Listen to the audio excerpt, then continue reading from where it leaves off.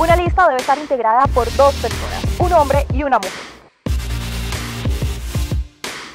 El comité debe inscribir la lista ante la registraduría. Deben ser mínimo tres personas y pueden ser los mismos candidatos.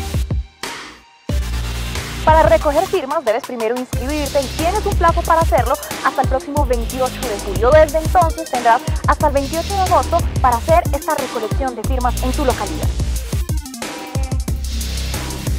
Las firmas que recojas solo deben ser en tu localidad y justamente de personas que tengan entre los 14 y los 28 años. Si no alcanzas a conformar tu lista independiente, también puedes hacerlo por un partido político o por una organización juvenil. Inscríbete hasta el 28 de julio en www.registrojovenesindependientes.registraduría.gov.co.